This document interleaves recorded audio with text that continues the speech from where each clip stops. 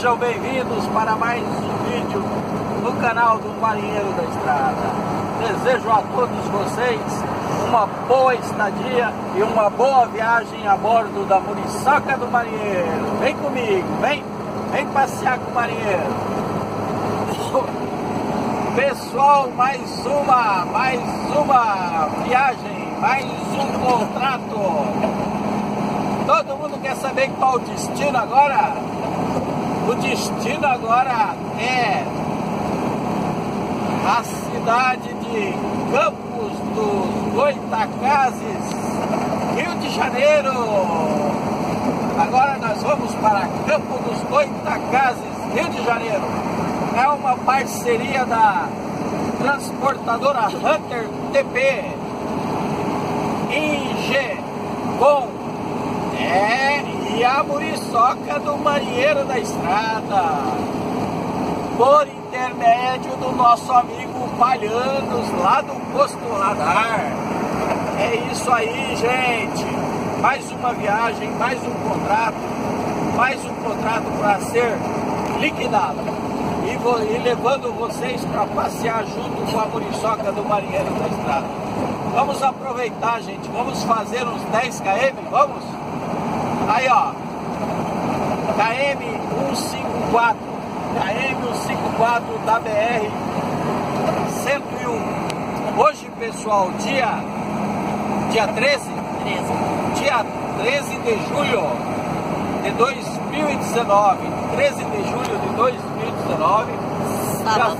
Já, sábado já é aproximadamente 8 horas e 6 minutos. 8 horas e 6 minutos que nós estamos aqui próximo à cidade, passando agora pela cidade de Itapema, Santa Catarina. É Itapema, Santa Catarina, gente. Pessoal, aproveitar esse vídeo aqui para mandar uma. Ó, primeiro vou mandar um abraço aí que eu vou na casa, vou na cidade do meu amigo aí, tem inscrito no canal que mora lá em Campos dos Goitacazes. Neilton Mendonça. Quem que é? Neilton Mendonça. É o Neilton Mendonça. Ô Neilton Mendonça, estamos indo aí para sua cidade. Quem mais será que mora lá em Campos dos Goitacazes, hein? Deixa aí seu comentário. Se você mora em Campos dos Goitacazes, Rio de Janeiro, deixa seu comentário aí. Que nós estamos indo para a sua cidade. Pessoal, Vou aproveitar esse vídeo aqui para mandar para dar uma resposta a, a, dois inscritos no canal, né? Que me fizeram uma pergunta já há alguns dias e eu fiquei de responder essa pergunta no vídeo. Enquanto a Leila vai mostrando aí a, o, a cidade, aí vai mostrando tudo que a gente passa, as belezas aí das estradas, eu vou mandar uma resposta para quem que é, Leila. Jolenberg Soares, de Carapicuíba, São Paulo, e Gisele Santos, de Contagem, Minas Gerais. É o Jolenberg Soares, Carapicuíba, São Paulo, e a Gisele Santos. E a Gisele Santos, de Contagem. Gente, essas, esses dois inscritos no canal, eles acessaram o vídeo do Marinheiro da Estrada e deixaram uma pergunta lá nos comentários. A Gisele quer saber como é que funciona esse negócio de chapa. O que é o chapa? Para que, que serve o chapa? E quem que paga o chapa? E o, e o Jolenberg. Jolenberg também quer saber sobre o chapa. Quem que paga, se é o dono da carga ou se é o motorista que tira do bolso dele. Então, eles querem saber sobre o chapa. Eu vou dizer para vocês, o Jolenberg e Gisele. e Gisele, eu vou dizer para vocês o seguinte, o chapa, Gisele, é uma pessoa que fica nas cidades, tá? Normalmente com a pessoa tá, às vezes, muito tempo já trabalhando com chapa, às vezes a pessoa saiu do emprego, perdeu o emprego e resolveu trabalhar de chapa. É uma função, é um trabalho informal, tá? Não é um trabalho com carteira registrada, não é um trabalho legalizado. Legalizado ele é, né? mas ele é um trabalho informal. Tá? Então o que, que acontece? Normalmente quem trabalha de chapa, a maioria das vezes, é uma pessoa que conhece bem a cidade, tem profundo conhecimento sobre os locais de entrega da cidade. E eles ficam geralmente bem na entrada das cidades ou próximo a elas, tá? E cada vez que a gente passa, que a gente vai chegando na cidade, eles dão sinal pra gente, se dizendo, se mostrando que são chapas, né? E o objetivo deles, tá? É levar a gente até o local da entrega e também ajudar na descarga do veículo, né? Tem muitos chapas que fazem só o serviço de leva. O serviço de leva que eu digo é só para levar o motorista até o local da descarga. Porque como nós andamos com caminhões com as dimensões normalmente muito exageradas, que é o caso da minha muriçoca, que ela tem quase 14 metros de comprimento, ela tem quase 4 metros e 50 de altura, né? Então, ela não é qualquer lugar dentro da cidade que a gente pode trafegar, porque normalmente ela tem, ele tem que tomar cuidado com os viadutos que a gente passa por baixo, com passarelas, com ruas que tem fios baixos, para não pegar. E tem muitas pessoas também, muitos motoristas, entram carretas, caminhões com dimensões maiores, eles também muitas vezes utilizam o trabalho do chapa quando eles não conhecem a cidade. O chapa, gente, quando a gente contrata ele, muitas vezes o valor do chapa já está incluso no frete. Muitas vezes quando você contrata o frete, uma das principais perguntas que você faz quando você vai contratar o frete, e já fica aí uma dica para quem for querer pegar a estrada. Sempre, sempre que você for contratar um frete, uma das principais perguntas que você faz com uma pessoa que você está contratando esse frete é como vai se dar a descarga. Frete é livre de carga e descarga ou se tem que pagar o chapa. Muitas vezes, gente, o frete é livre de carga e descarga. Mas você tem que levar o chapa. Você leva o chapa, mas quem está te contratando que vai pagar. E muitas vezes frete é livre de carga e descarga e você não precisa levar o chapa, porque no local onde você vai descarregar já tem o pessoal preparado, o pessoal já treinado para fazer essa descarga e daí a própria transportadora que te contratou que paga. E muitas vezes, gente, o frete é por conta do caminhoneiro. Então você veja, a descarga, desculpa, é por conta do motorista. Então vocês vejam muito bem, prestem bem atenção para ver se o frete é livre de carga e descarga ou a responsabilidade da descarga é por tua conta, tá? Então preste muita atenção nisso, porque às vezes a pessoa anuncia um frete e às vezes o preço do frete já é um preço baixo e muitas vezes você ainda tem que pagar o chapa porque você não perguntou anteriormente. Então daí, quando você contrata um frete, se você acha que o preço é muito baixo você ainda tem que pagar o chapa, né? Cai fora. Cai fora, porque olha aí praia bonitinha aí, ó. Né? Cai fora, porque senão não vai te sobrar muita coisa no frente. Então, gente, o chapa, a função do chapa é praticamente essa, tá?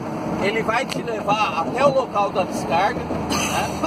muitos chapas, a maioria conhecem a cidade toda, conhecem muitas vezes muitos locais.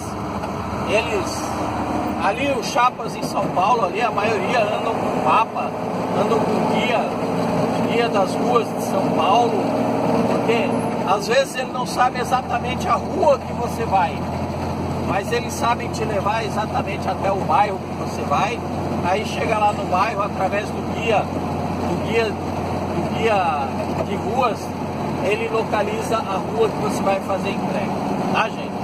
Mas o bom chapa é aquele que já sabe de tudo. Tem vários tipos de chapa. Então é sempre bom você ficar esperto, tá? Com chapas, por não ser uma profissão regulamentada, por não ser uma pessoa é, que tem uma profissão é, regulamentada registrada. Então a gente tem que estar sempre, sempre esperto com chapas. Mas tem muita gente boa aí, tá? Tem muito chapa bom, tem muito chapa profissional que trabalha com responsabilidade, que leva, te leva com responsabilidade até o local e te trata realmente muito bem. Tá ok, gente? Então espero que tenha respondido a pergunta aí dos dois. Eu vou deixar, a Gisele fez outra pergunta que eu vou deixar para outro vídeo, tá Gisele? Em outro vídeo a Leila vai te responder a outra pergunta que você fez para ela. Aguarde. Senão vai ficar muito longo. Senão o vídeo vai ficar muito extenso. Então a gente vai deixar por aqui. E vamos ver quem é o inscrito que vai andar mais, vai assistir mais vídeos de 10 km com o marinheiro da estrada. Saúde. Então, vem com a gente, vem passando sobre o túnel, sobre o Morro dos Boi, Morro dos Boi, que faz a divisa dos municípios de. faz a divisa dos municípios de Itapema e Balneário Camboriú. Vem com a gente, vem! Pessoal, vamos aproveitar esse vídeo para mandar um abraço àquela galera, aquela pessoal que sempre está ligado no canal, sempre está deixando o seu comentário e sempre está compartilhando e assistindo os nossos vídeos. Mandar um abraço para aquele pessoal. Quem que é o pessoal que está aí na vez, Leila, para a gente mandar aquele abraço caloroso do marinheiro da estrada? Wilber Lima de Patinga, Minas Gerais. É o Wilber Lima.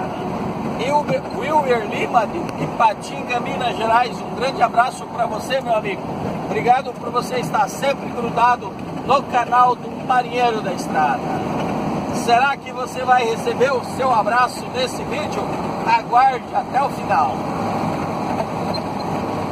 Uh, Rubélio Vieira Mendes, de Belo Horizonte. Opa, mais um mineiro, lá de Belo Horizonte agora, é o Rubélio, Rubélio Vieira Mendes. Grande abraço para você, meu querido. Obrigado por você estar aí ligado no nosso canal. E a toda a galera de Belo Horizonte, aquele abraço. Felipe Ribeiro, de Almirante Tamandaré, no Paraná. Opa, agora ali perto, perto da região onde o marinheiro sempre faz entrega. É o Felipe Ribeiro, na cidade de Almirante Tamandaré, é, Paraná. Um grande abraço para você. Muito obrigado, meu querido. Você está aí sempre deixando o seu comentário. E a toda a galera de cidade de Almirante Tamandaré, no Paraná, aquele abraço. Zezão Andrade, de Senhor do Bonfim, Bahia. Agora vamos lá para Bahia, lá para o Nordeste. É o Zezão Andrade. Muito obrigado, amigo. Obrigado por você estar aí ligado no nosso canal. E a toda a galera de Senhor do Bonfim, na Bahia. Aquele abraço. José da Penha, de Barra Mansa, Rio de Janeiro. Opa, é o José da Penha, lá da cidade de Barra Mansa. Vamos passar pertinho da sua cidade agora nessa viagem. Um grande abraço para você, meu querido, e a todo o pessoal da cidade de Barra Mansa, Rio de Janeiro. Aquele abraço. Ciro e Simone da Silva, de Pelotas, Rio Grande do Sul. É um gaúcho agora. Vamos lá para o extremo sul do país, é a cidade de Pelotas. É o Ciro e a Simone. Um grande abraço para você, Ciro e Simone. Um abraço. caloroso do Marinheiro da Estrada, muito obrigado por você estar sempre curtindo os nossos vídeos. E a galera de Pelotas, Rio Grande do Sul, aquele abraço. Alexandre Marques, Nerval, Rio Grande do Sul. É, mais um gaúcho aí da cidade de Erval agora. É o Alexandre Marques, também ligado no canal do Marinheiro da Estrada. Também deixando sempre seu comentário. Um grande abraço para você, querido. Muito obrigado. E a todo o pessoal de Erval, Rio Grande do Sul, aquele abraço.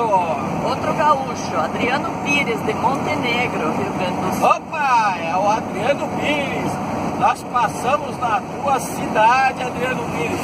Um grande abraço para você, meu querido. Muito obrigado por você estar aí ligado no canal do Marinheiro. E a toda a galera de Montenegro, Rio Grande do Sul, aquele abraço. Carlos Bastos, de São Paulo, capital. Agora vamos para a capital paulista, é a terra da fumaça. Grande abraço para você, Carlos Bastos. Muito obrigado por você estar aí ligado no nosso canal. E a toda a galera de São Paulo, capital, aquele abraço. Kilder e Gabriel Carvalho, de Piaberu, Paraná. Opa, Paraná de novo. É o Wilber. Kildere. Kildere. Kildere Gabriel, grande abraço para você, Kildere. Obrigado aí por estar sempre ligado no canal do Marinheiro. E a toda a galera de Piabiru, Paraná, aquele abraço. Elias RS, Rio de Janeiro.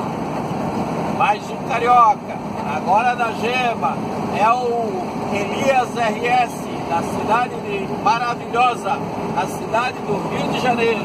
Vamos passar por Rio de Janeiro. Grande abraço para você, Elias. E a toda a galera do Rio de Janeiro, aquele abraço. Paulão Divulgação, de Saquarema, Rio de Janeiro. Mais outro lá da região do Rio de Janeiro, agora de Saquarema. Grande abraço para você, Paulão. Paulão Divulgação. Divulgações. Um grande abraço, meu querido. Obrigado por você estar aí deixando seu comentário no nosso vídeo. E a toda a galera de Saquarema, Rio de Janeiro, aquele abraço. Clécio Monteiro, o nosso amigo Kel, de São Paulo, da Zona Leste de Ermelindo Matarazzo. Opa! É o Kel. Grande abraço para você, Kel. E deixando um recado aí, gente. O Kel é, tem um canal no YouTube também, gente. É o Kel Estradeiro, tá?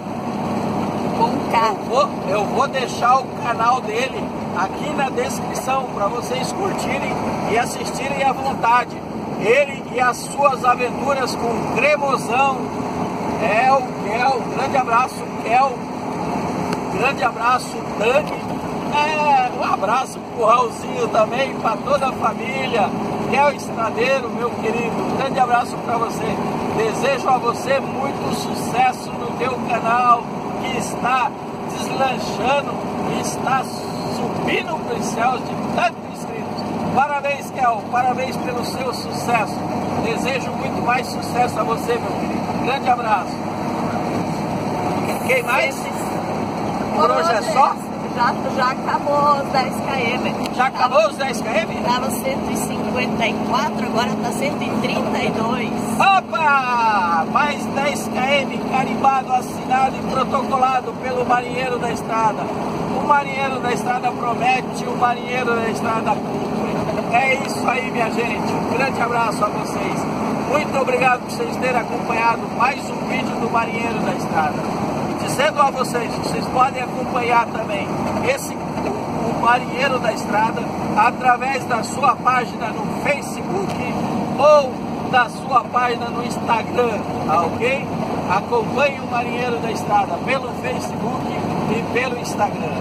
Vou ficando por aqui, desejando a todos vocês um excelente final de semana. Um grande abraço a todos vocês.